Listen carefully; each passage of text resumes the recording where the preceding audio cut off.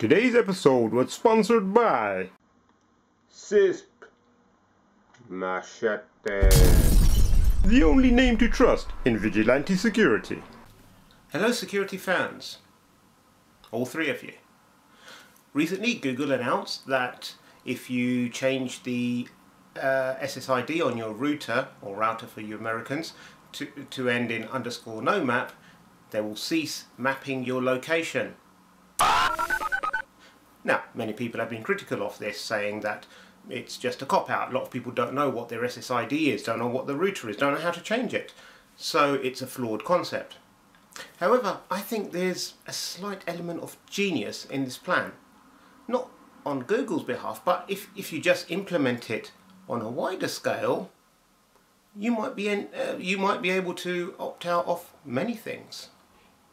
If you don't want a robber, add no thief to your address.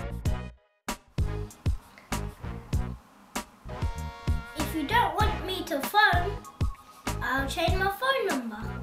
If you don't want the police to catch you, add no speed to your number plate. Of course, the real challenge here is to ensure standardization. So Facebook might say, change your SSID to say no Facebook snooping, and then Google say no map.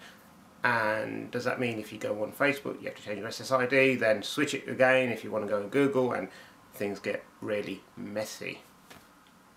Anyway, I'm off to change the address of my house to include no thief, and hopefully stay secure, my friends.